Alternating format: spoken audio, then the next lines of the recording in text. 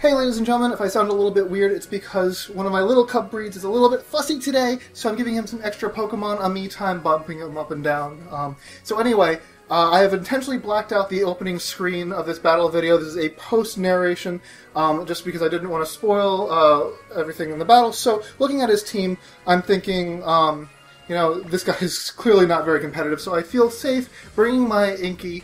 Uh, for the other two, I bring Tangela and Sneasel. I mean, no reason to, you know.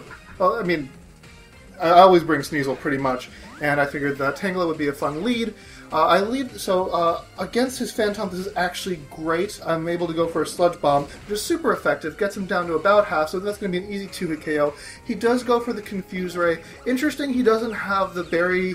Um, sorry, not the Berry Juice. Excuse me, the Oran Berry. Um, this is obviously not. A, oh, he had Frisk, so I know he's not the Harvest set. I hit myself in the confusion, but Tangela is such a special wall that it really doesn't do anything. Feint again doesn't do anything. I snap out of confusion on the very next turn, which is great. Go for another sludge bomb, and that is a dead Phantump. So that's fine, that's wonderful, and now I'm really wondering who he's going to send out next, but I'm really not fearing anyone. Here comes Vulpix. Um, Vulpix should outspeed. I was very surprised that I got the sleep powder off. I was intending to fodder um, my Vulpix, my sorry, my um, Tangela, and I actually thought that I might lose this battle because I didn't know what I'd use to take out Vulpix. Um, so I get him to sleep, and I'm like, well, that's great. So I go ahead and switch out into Inkay, uh, and I decide, all right, it's time for some superpowers. Uh, no one on his team, so he does have that Ralts. He could, in theory, be bringing out that Ralts, which would uh, quad resist superpower.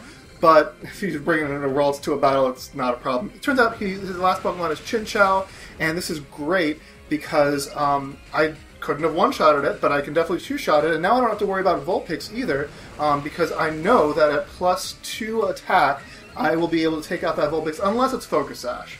Um, interesting, by the way, that it wasn't even Drought. Um, wasn't even a Drought set, so clearly this guy, not the best player on the planet, but, you know, takes all kinds, right? I actually feel bad for people competing in this tournament who did not bring competitive teams because Little Cup breeding is really hard, and yeah, I mean it's not as intuitive say oh, OU or a regular double. So anyway, that was the battle. It was a clean, Inkay sweep, and I hope and it was a lot of fun to play. So I hope you folks enjoyed it. Comment, rate, subscribe. So long.